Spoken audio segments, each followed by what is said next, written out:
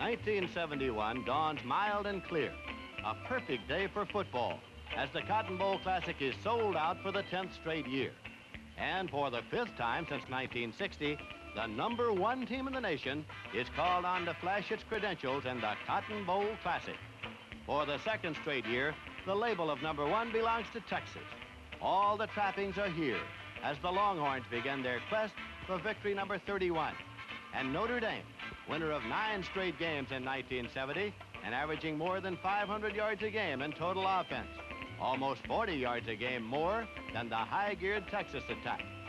This will be a day when more than 72,000 people jam into the Cotton Bowl as 20 million home television sets turn on and tune in, easily the largest audience of the bowl season. How many times have Texas opponents seen a game start like this? Phillips cuts inside on the first play from scrimmage. And the foot race ends 63 yards later with Ralph Stepaniak on the save.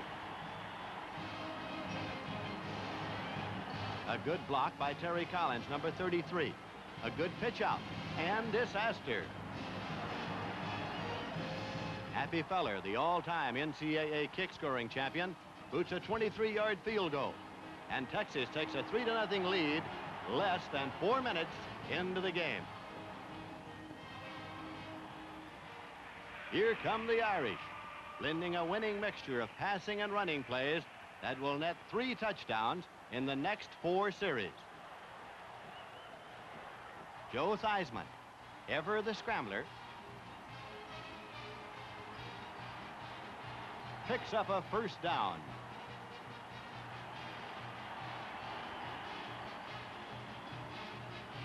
Now a play action pass. Theismann to Tom Gatewood, running a cross pattern, something Texas will see much more of very shortly.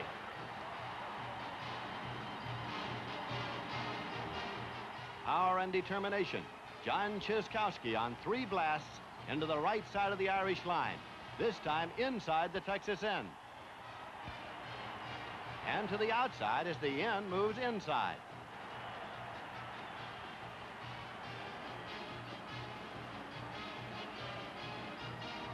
From the 26th, the threat becomes reality. It's Theismann to Gatewood on that same cross pattern. The elusive junior speedster suffers a pull hamstring. A small price to pay for a big touchdown.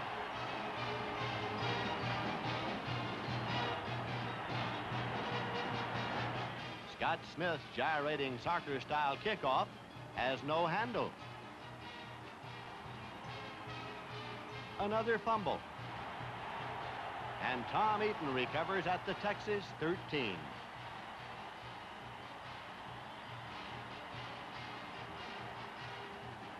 John Cieszkowski on the right side of the line. What a combination. Don't take the fakes. It's a Joe Theismann keeper all the way. And Notre Dame takes a 14 to 3 lead. Another view, same result. Theismann bellies Ed Gulyas into the line and then rolls out for the score.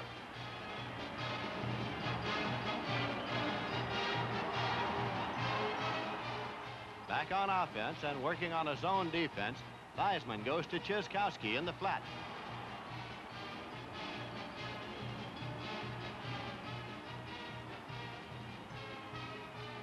How do you stop an offense like this? Mike Creaney runs another cross pattern. But this time, Rick Neighbors has the stopper with the timeliest of interceptions. Where is that football? That interception is only a reprieve, not salvation. Texas punts to midfield.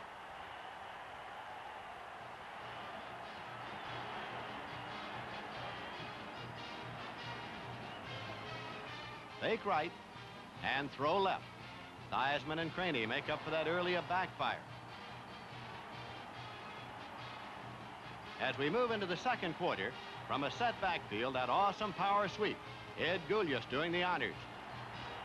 Rick Neighbors on an unneighborly stop. From the wishbone, Theismann bellies Cieszkowski, and it begins to look like mission impossible as the defense closes in. But Improbable Joe walks the tightrope for the score. Now Notre Dame leads 21 to 3. And it's hats off to the Irish, who score three touchdowns in the first 16 minutes and 32 seconds. This time it's an up pattern by Comer. Good for 36 yards with number 38, Rick Thomann, breathing down his neck.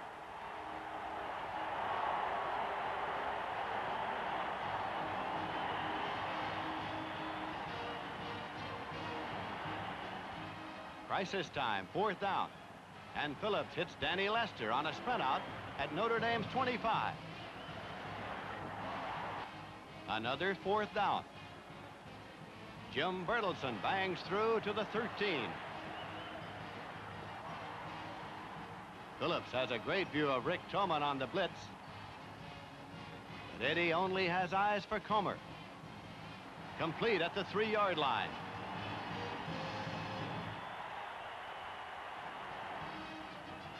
On the isolated camera, we'll see Comer set right.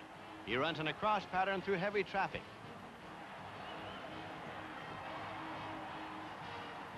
Now, is it a first down?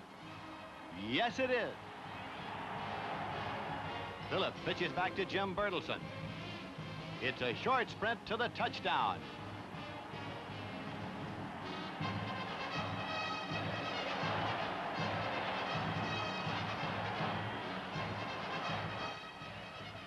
An upstairs view as the defense moves inside, leaving Bertelsen his route to the goal line.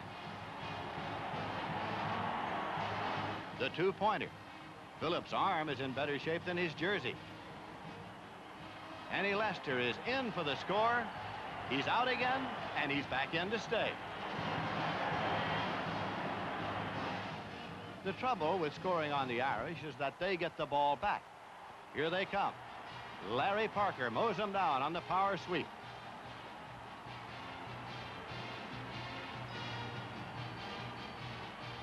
Soft quarterback Jim Bulger in the game. Like a bridge over troubled waters, his arching pass finds defensive ace Clarence Ellis.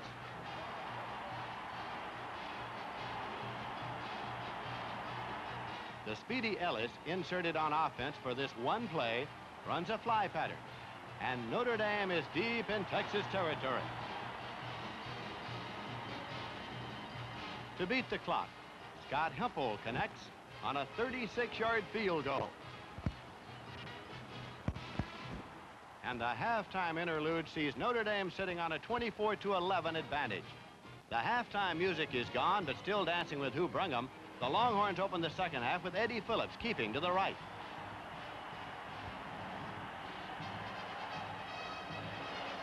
And back to the left.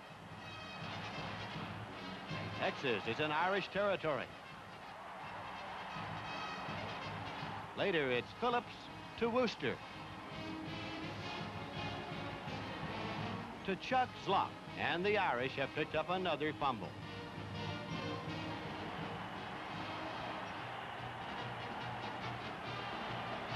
There's bad news today, Longhorn. Ten times in this Cotton Bowl Classic, Texas will get the ball more than 80 yards away, this time digging out from the one-yard line. A lob to Bertelsen right on the hangnail.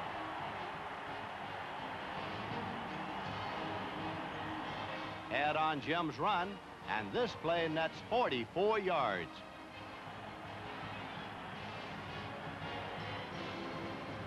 An Irishman named Kelly, Tim Kelly, number 42, claws the ball from Worster's grip. There's Mike Crotty again.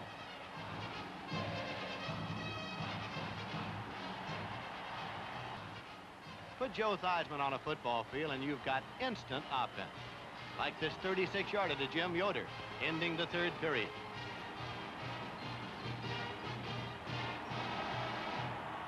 It's power off the I formation. And Larry Parker rambles to the Texas 13-yard line.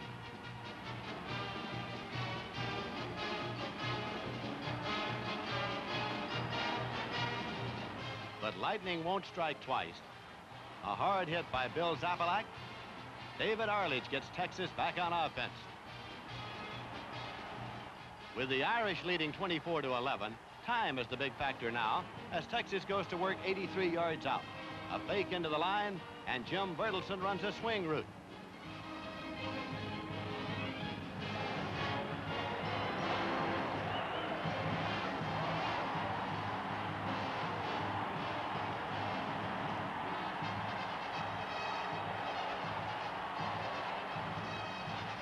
Another throwback pass. This one to the right side, and Billy Dale hauls it in.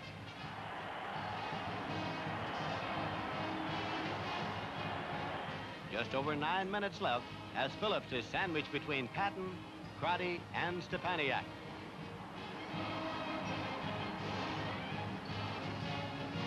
The Texas quarterback is knocked unconscious on the play, and his big day in the Cotton Bowl is ended.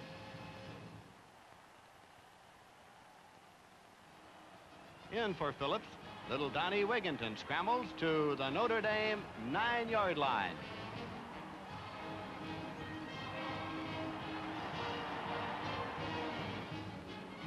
Now it's Mike Kadish playing hero and gathering up the fumble. Theismann firing now. Jim Yoder runs a quick bend to the sidelines. And he went that away. Hey, down in front. Let's hustle upstairs and see how this one turns out. Here we are. The throw to Yoder. And we're off to the races. Coming down the home stretch, it's Jim Yoder by three lengths. Rick Neighbors moving up on the inside. It's a 60-yard dash with a photo finish. Neighbors by a nose.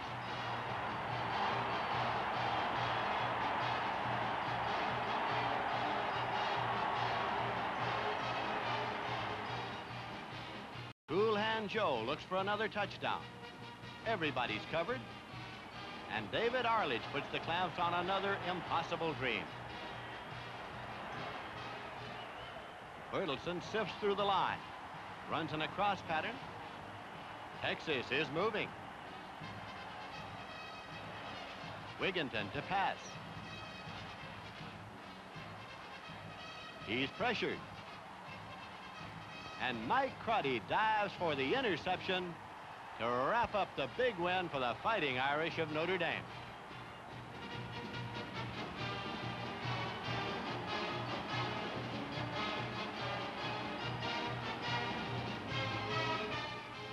And how does it feel to beat the number one team in the nation?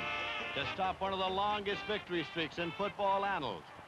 Well, the Fighting Irish of Notre Dame have their own way of expressing themselves after writing another memorable chapter in the history of the Cotton Bowl Classic.